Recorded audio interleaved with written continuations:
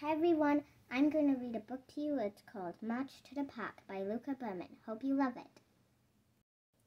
The ants were getting ready to work. It was a fine day to go to work in the park. Don't forget, said Dexter, the leader ant. We are a team. We work together, and we will share all the food we find.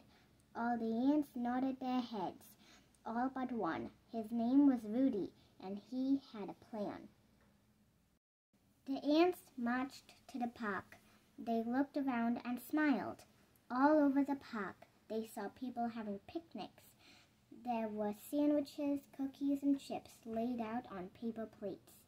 This way, said Dexter, and all the ants turned left, all but one. Rudy wanted to be a star, so he wanted to show Dexter that he was the strongest and smartest ant on the team, so Rudy turned right. The ants marched up to one blanket. Oh, wow, said Dexter. We will carry a feast of crumbs back home. Dexter told the team what to do. The ants picked up sandwich crumbs and cookie crumbs and chip crumbs. All the ants picked up crumbs, all but one ant. Rudy was all alone, staring up at a big, fat slice of cake. To the little ant, the cake was as big as a mountain. Rudy looked back at the other ants. They were all busy helping to pick up crumbs. I will be a star, thought Rudy.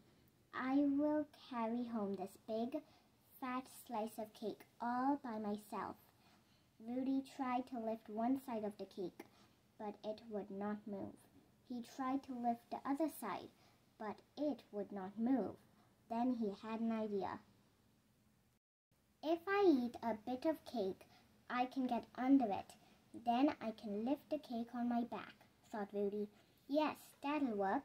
So Rudy ate a bit of cake. Then he got under it.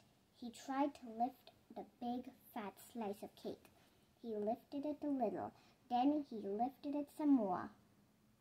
The cake went up, up, up, and then it came down, right on top of Rudy. Help, help, he cried. I'm stuck under the cake. He waved his back legs, hoping someone would see him. Dexter heard Rudy's cry. Come on, Dexter shouted. He led the whole team to help Rudy. Eight ants lifted one side of the cake. Eight ants lifted the other side of the cake. Up, up, up, and Rudy was free.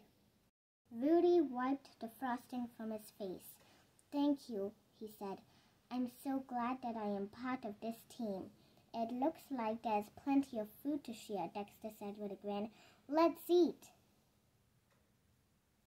Hope you enjoyed the book, everyone. Bye, and I hope you loved the book as much as I do.